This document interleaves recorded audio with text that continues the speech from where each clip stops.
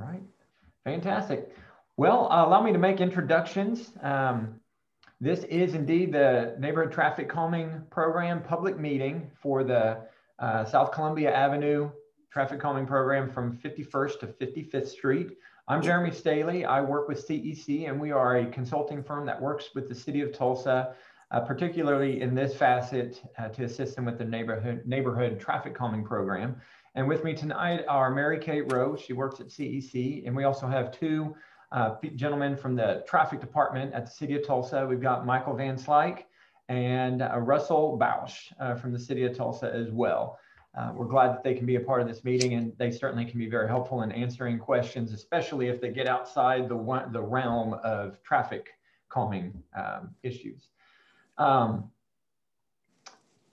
let's see here. Um, I'm going to ask, I'm going to mute everybody and just to let you know um, that will allow me to go forward with this presentation uninterrupted. We've got a chat box that's available. If you click the chat down at the bottom, uh, feel free to type questions in there. I can answer those or Russell or Michael can.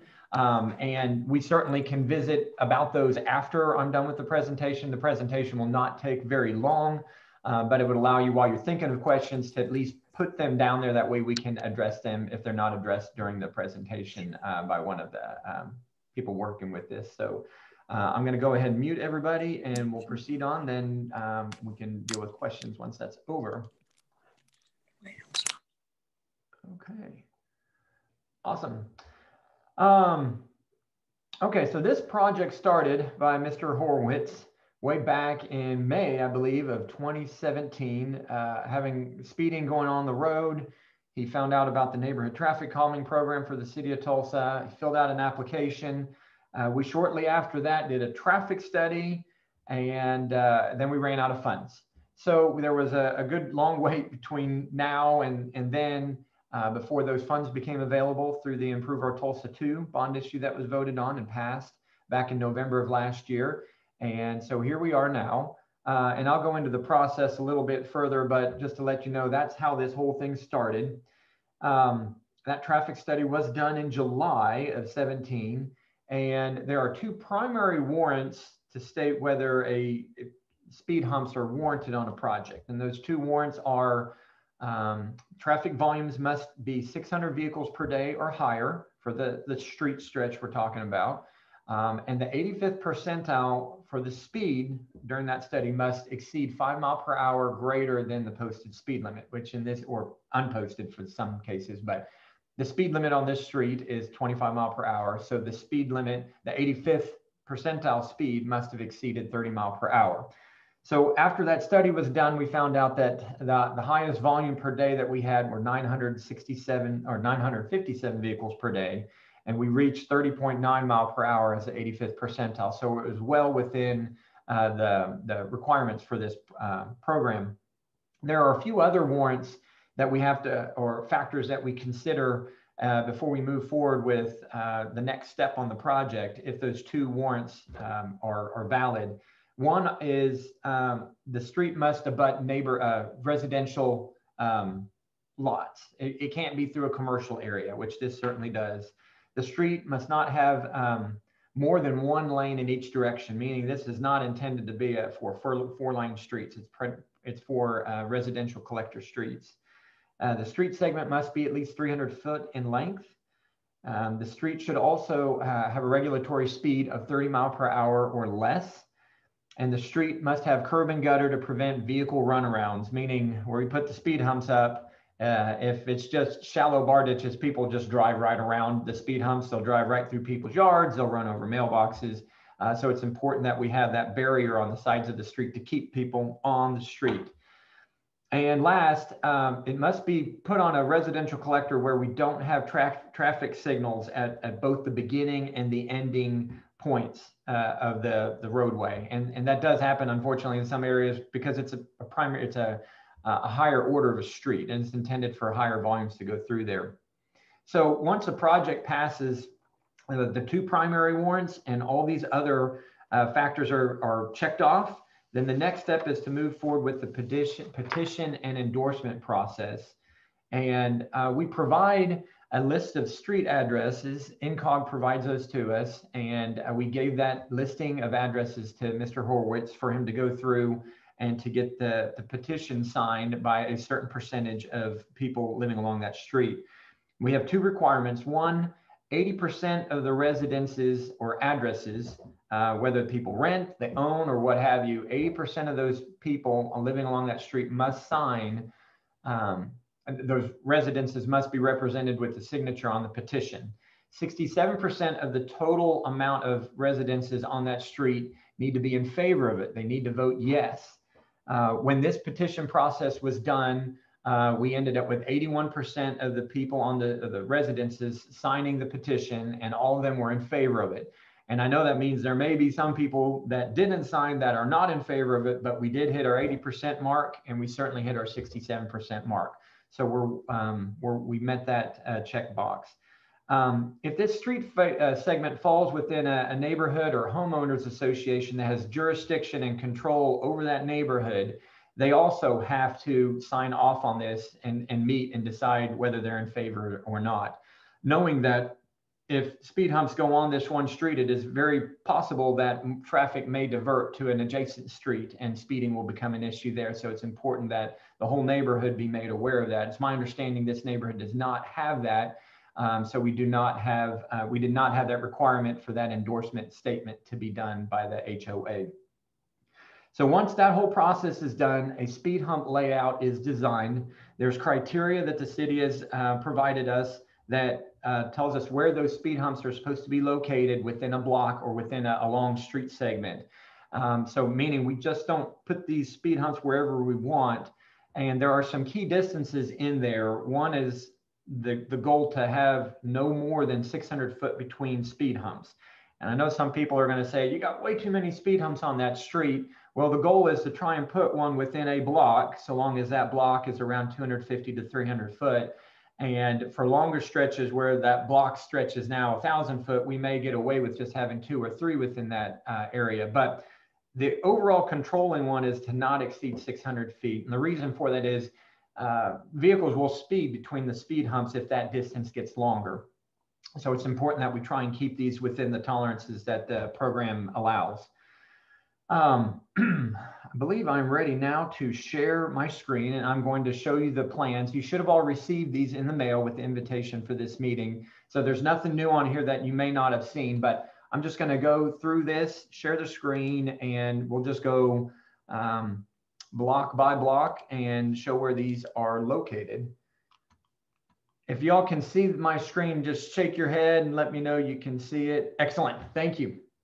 All right, I'm going to go full screen here. Very good. Okay, so we are starting here at 55th place on this, wait, let's see, I am at the right one, yes. Okay, very good. Okay, so we are starting here with um, north to the right. This is the beginning of the project at 55th Street, or sorry, 55th Place. And our first speed hump occurs in between the, the, the two residences on the west and the east. Um, as you can see, we've got a distance of 172 foot um, between the beginning of the project and that first speed hump. Ideally, we try to keep that within 150 to 250 foot of the intersection beginning.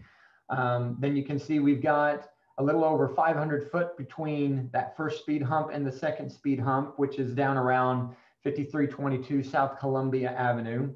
And then moving on to the next sheet, we've got again another 530 foot or so between that second speed hump and this third speed hump, which is around 520, or sorry, 5230 uh, South Columbia Avenue.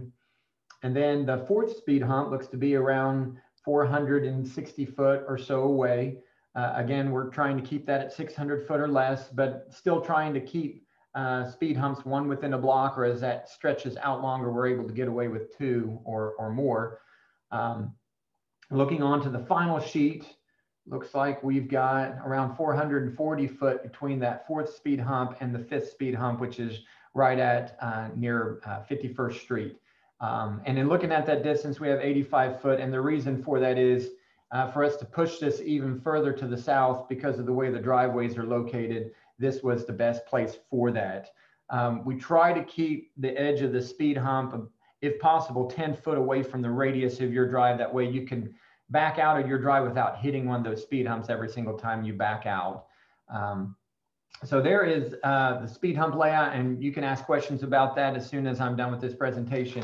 Um, but next, I'd like to go briefly over what these speed humps look like, their shape, and the striping and everything. So this sheet here is our standard details for the speed hump. Uh, the middle detail shows a plan view of it. These speed humps are 22 foot long as you measure along lengthwise on the street.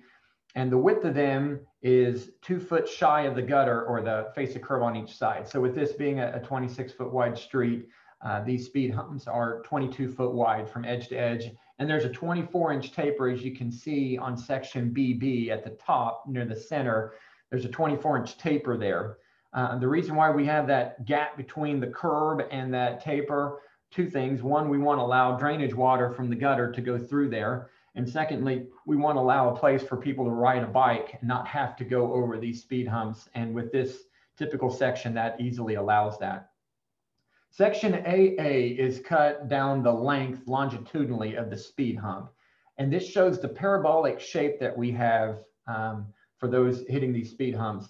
Um, they start out flush with the grade and within six foot, they transition to a three and a half inch height. Uh, and then there's a 10 foot long platform, relatively flat platform on the top before the parabolic shape begins to depress down to match existing grade again. That parabolic shape is a, a very smooth transition. Um, and I, I do want to point out that these speed humps are intended to slow people down that are exceeding the speed limit. You can drive over these speed humps easily going 20 or 25 mile per hour in, in most vehicles, not all, but most vehicles, you can drive the speed limit and, and be fine. You might get a bit of a jolt. Um, you know, you wouldn't want to hold a cup of coffee that's really full. It might splatter on you, uh, but you can easily traverse these and not feel uh, bad effects uh, while you're going the speed limit or slightly under. If vehicles do exceed the speed limit a lot, say they're going 30 or 35 mile an hour, they will, they could damage their car or they could uh, um, cause some issues there. It'll be very uncomfortable for them to drive that. So these are intended to slow those speeds down. Uh, also in the, the, the center, the, the middle detail and the lower one, it shows just striping those um, uh, arrows that are, are pointing along. Those uh, those are striped per MUTCD and uh, manual of uniform traffic control devices, which governs the where, where signs go and striping on roadways. And uh, so that is easy for people to see at night. There'll be reflective paint on there. Uh, it'll be white, of course, as well. Uh, it's easy for people to see during the day and at night.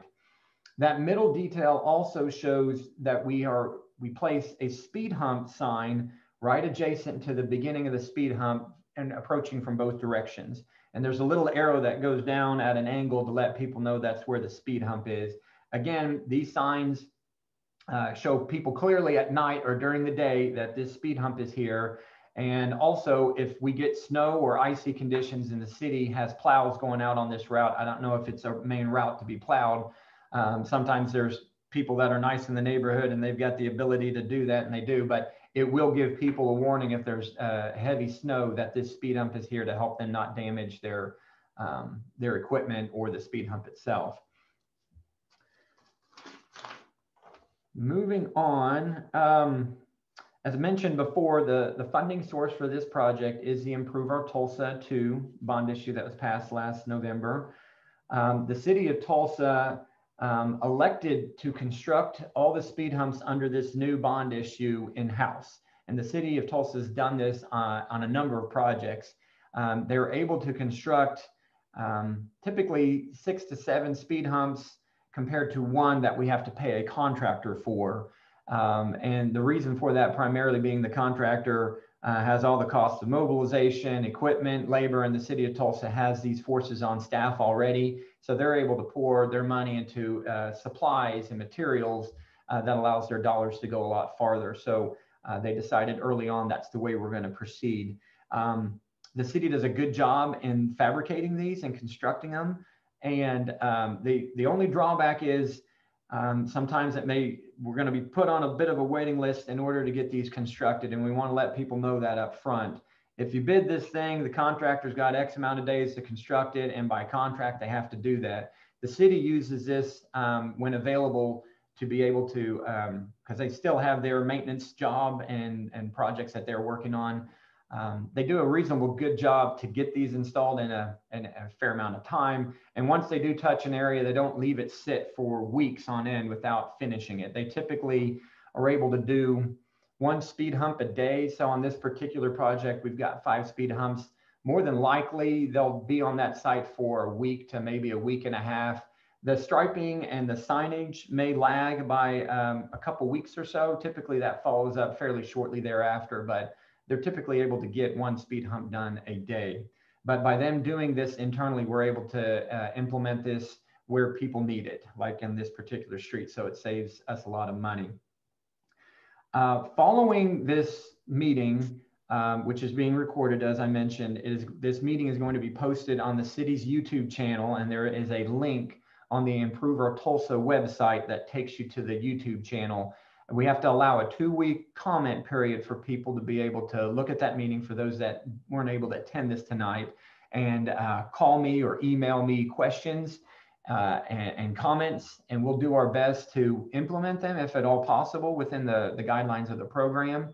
Um, and as soon as that two week period is expired and we address any of those comments and fix the plans, this will be put on the list for the city to be able to move forward and construct.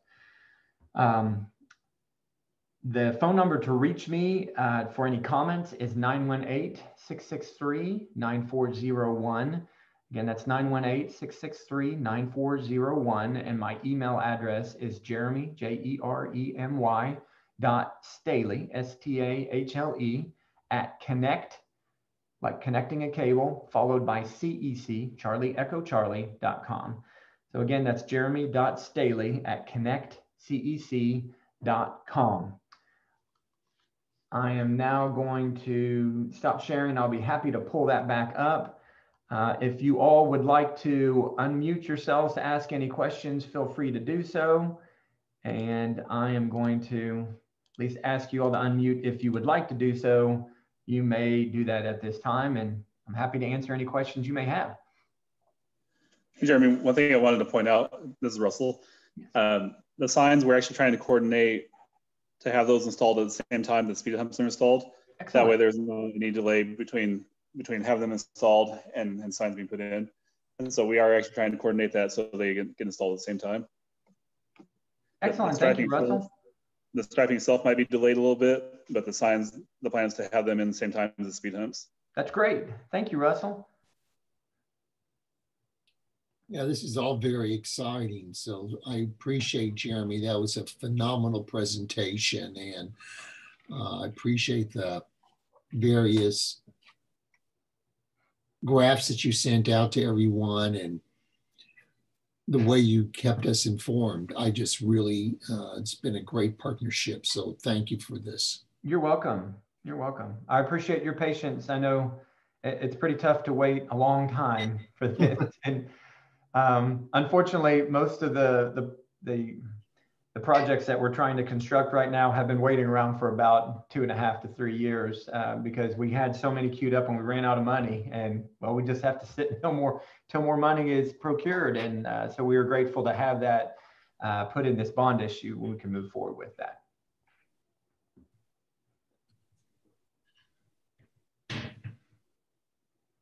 I don't want this meeting to drag out just for the sake of saying, hey, our meeting lasted so long. So I don't want to keep anybody. Um, if there's no other questions here, we can go ahead and end this meeting here. Um, again, if you do have any questions, just email me or call me and I'll be happy to address those as best as I can. And again, if you have comments over the plans, uh, we'll do our best to accommodate it as long as it fits within the guidelines of the program. We, we want to be able to hear what you have to say and, and fix it or adjust it if we can.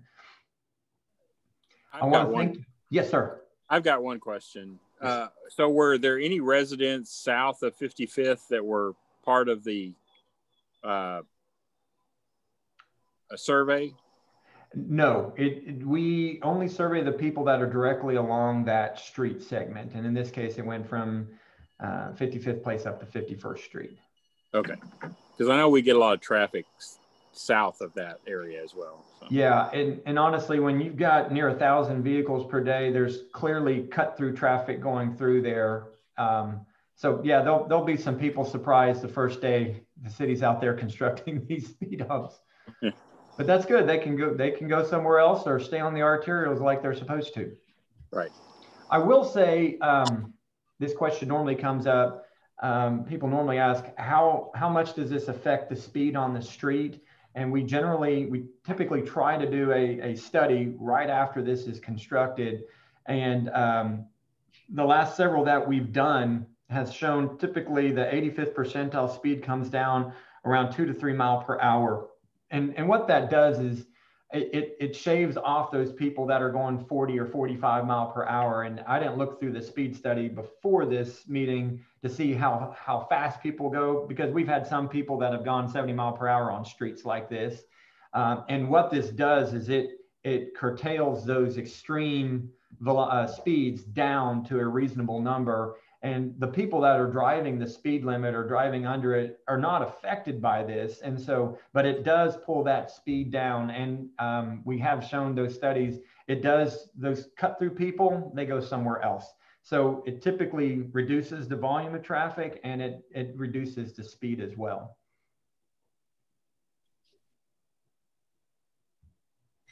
That makes a lot of sense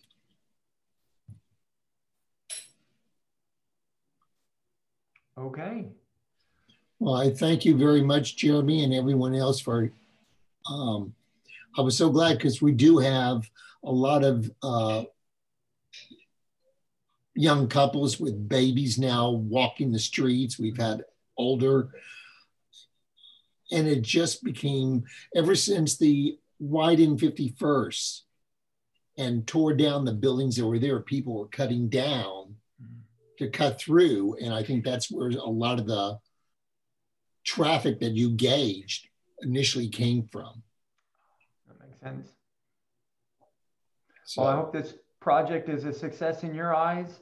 And uh, we'll wait to that two month, uh, two week comment period to end. And uh, we'll coordinate with Mr. Horowitz once that period is done. And uh, we'll get this slated on the city's schedule. Um, can't promise you that we'll make this project before the, the, the cold, colder weather sets in, because generally by the middle of November, it gets to be challenging to install asphalt. So it is possible that this project may get pushed to March or April. Um, it all depends. Some years we have warm weather going all the way into December and some we don't. Um, I do think the weather forecaster said that we should have a, a warmer fall than normal. So it is, it is possible that this thing could get still be constructed this year. But um, I just have one question, Jeremy. When these start, when once these started, how long does it take to finish it? They they generally get one done a day, and with us having five uh, to be done, uh, they they should be able to get this. If they started on a Monday, they should be able to finish by Friday, unless there was bad weather during some of those days. And I say bad weather meaning it could be a cold front come through that would stop them from being able to construct it the, the temperature has to be, I believe, around 45 degrees and rising in order to lay that asphalt. So if it's not warm enough, they can't lay it. Um, but they generally get one done a day. So the hopes are the humps could be constructed within about five days time. Awesome. Thank you so much. You're welcome. Well, I appreciate all of you attending this meeting. Thank you so much for taking up the, your, your evening to join us. And again, if you have any questions, uh, give me a call or shoot me an email. Will do. Thank, Thank you. y'all. Have a good evening. Yeah, thank you so much, Jeremy. Thank you. Have a good evening, Michael. Thank you, Russell. you too. Bye, Mary Kate. Tonight, and thank you everyone for attending. Yeah, thank you.